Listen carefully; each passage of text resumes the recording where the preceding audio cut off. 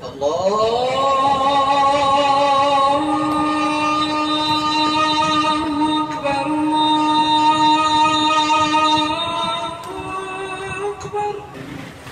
मैंने रोजा रख लिया भाई, सैरी करके जो मैं सोया हूँ। रोज़े से एक मिनट पहले उठता हूँ बस।